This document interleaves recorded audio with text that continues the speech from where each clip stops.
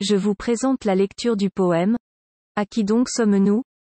Écrit par Victor Hugo. À qui donc sommes-nous? Qui nous a? Qui nous mène?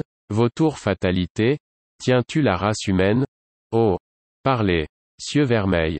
L'âme sans fond tient-elle aux étoiles sans nombre? Chaque rayon d'en haut est-il un fil de l'ombre? Liant l'homme au soleil, est-ce qu'en nos esprits, que l'ombre a pour repère?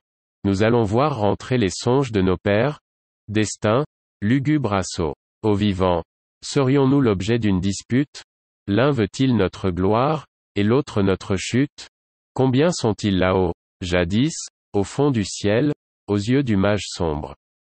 Deux joueurs effrayants apparaissaient dans l'ombre. Qui craindre? Qui prier? Les manets frissonnants, les pâles zoroastres. Voyaient deux grandes mains qui déplaçaient les astres. Sur le noir échiquier. Songe horrible. Le bien, le mal, de cette voûte. Pendent-ils sur nos fronts? Dieu, tire-moi du doute. Ô sphinx, dis-moi le mot. Cet affreux rêve pèse à nos yeux qui sommeillent. Noir vivant. Heureux ceux qui tout à coup s'éveillent. Et meurent en sursaut.